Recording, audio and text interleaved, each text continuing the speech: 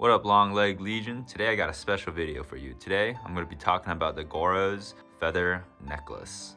I'm going to be giving you some general information on what Goros is, going to give you some measurements and give you some close-up detail shots.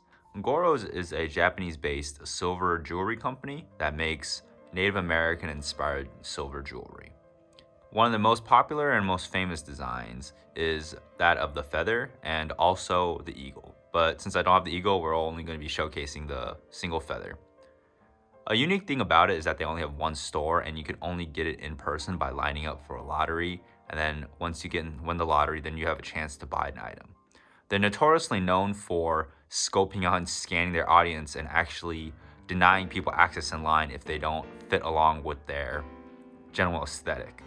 One unique thing is that you have to buy each piece separately. And as you gain more repertoire and as you go to the store more, they'll let you buy more items at once.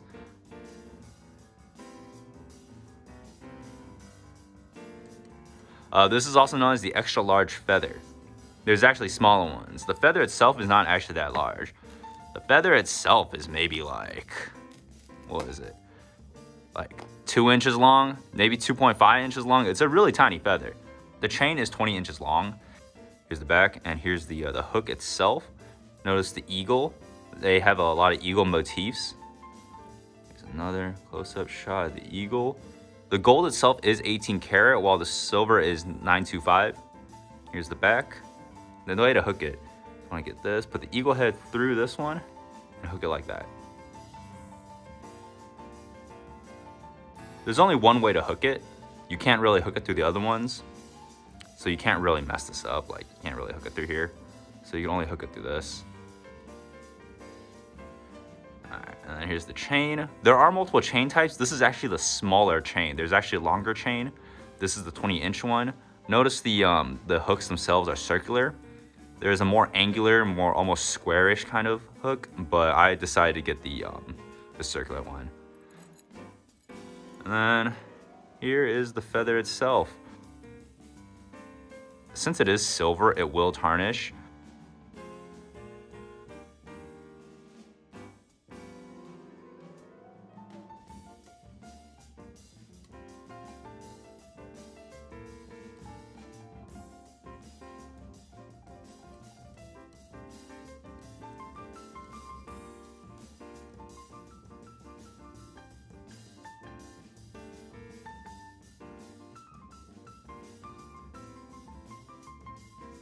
Hammered eagle on the front. This is also 18 karat gold.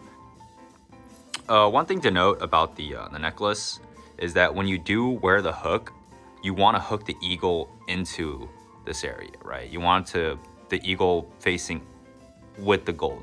You never want to go this way. Um, it's just, I don't know. They just got their own rules. You just got to follow them. You know what I'm saying? So there's just some things you can do, some things you can't do. And then the tarnishing is pretty cool. It tarnishes everywhere. I don't know if you can notice, but inside the area, it's really black on the inside. I think it's just because, I don't know, there's not as much use. I don't know. But look at that. Do you see that? That's cool, huh? The eagle head. It used to be a lot shinier. My friend's got a turquoise one, but it's whatever. Look at that. Look at that. Look at that.